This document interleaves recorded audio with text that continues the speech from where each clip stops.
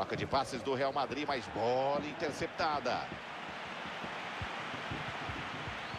Quero ver, cruzamento na área. Chega a defesa e retoma.